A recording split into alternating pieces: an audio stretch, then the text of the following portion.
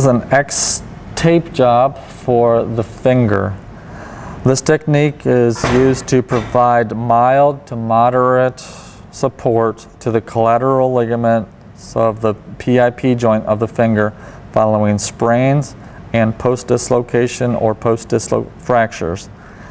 This technique is also used for individuals who require support but also desire independent motion of all fingers. For this one, uh, we are going to use uh, one inch tape um, and we're going to split it down the middle. If you have uh, quarter inch tape, uh, which are, are ideal for fingers, you can use that as well. We will not use uh, tough skin or pre-wrap in this case. Uh, first we want to put our anchors, our top and bottom anchors above and below the joint.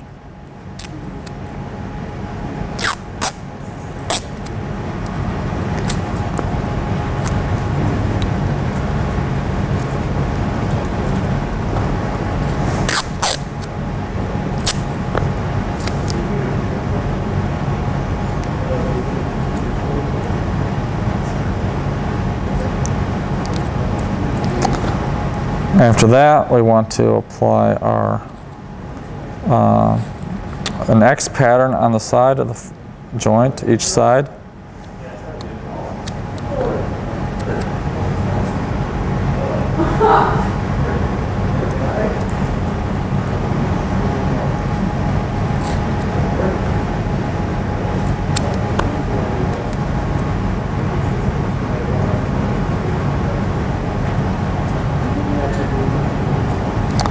Okay, and then we'll put it on the other side.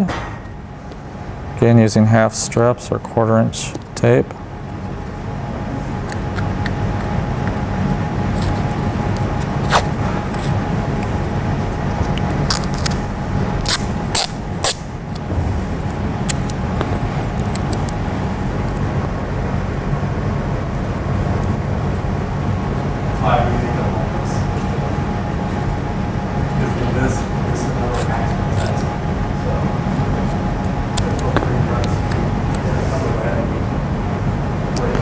And they should also be crossing at the joint. Okay. And then we want to close this off. Again, put a top closure and a bottom closure.